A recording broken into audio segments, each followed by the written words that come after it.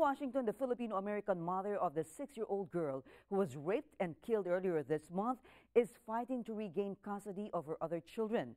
But that may not happen until October. Denise Wright and her husband James hope to get their 8, 12, and 16-year-old children back after a suspect was arrested for the rape and murder of their youngest daughter Jenise almost two weeks ago. Local reports say the Wrights will head to court in October to fight for their kids. It is not clear why the future trial date was set. Earlier this month, Child Protective Services removed the Wright children from their home when police began searching for six-year-old Jenise.